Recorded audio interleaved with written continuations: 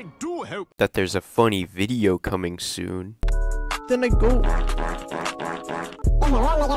who else but Spoon God on YouTube. He Spoon God, Spoon God, funny video.